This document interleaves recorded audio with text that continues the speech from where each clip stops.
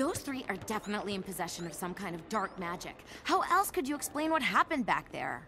Don't worry, y'all. We let Principal Celestia know all about this, and those girls will be kicked to the curb in no time.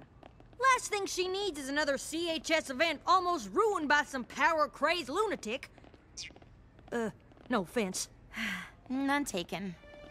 It was like we were protected somehow. So let's take them down! Like we haven't tangled with dark magic before and totally whooped it sorry but... Uh, no offense. None taken. Again.